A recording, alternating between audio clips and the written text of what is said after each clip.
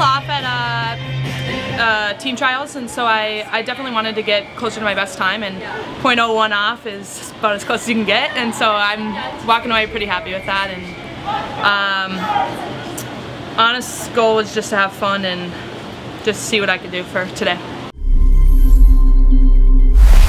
I think the biggest thing for me is taking it day by day, um, having faith and um, just that it's all going to work out for the better and um, I'm happy with where we're at now and it was a little bit of a long summer but it's all working out in the end. So. In the summer we are Cal Aquatics but um, it's to be determined for the future.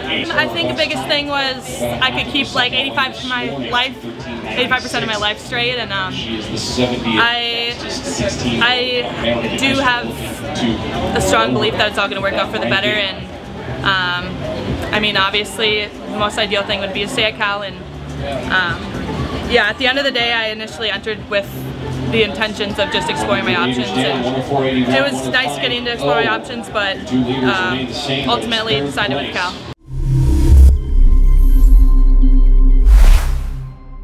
I think long course and short course are like different sports for me. Um, I'm definitely better long course, but um, confidence-wise, I it's the same girls, and so um, they're all the same age and it's always been a challenge but it's also great like competition and um, just racing opportunities. And so just getting the chance to race in like a different event I would say is, is always good to just balance it out I guess.